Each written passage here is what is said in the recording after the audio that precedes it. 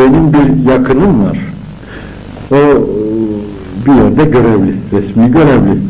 Ama hayatında suistimal nedir? Yani çalmak, çekmek, rüşvet filan hiç tanımamış birisi emekliliği de gelmiş geçiyor.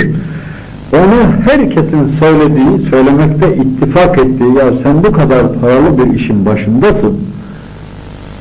Yalnız bir evin var, onu da işte Allah'ın teriyle aldın. Yani sen enayisin, sen delisin deyip durduklarını biliyorum. Daha bir sürü insana, ben de bu sen delisin ya, bu, bu yaşa gelmişin hala evin yok, yazanen kira, evin kira, bir şeyin yok, tarlan yok, takken yok.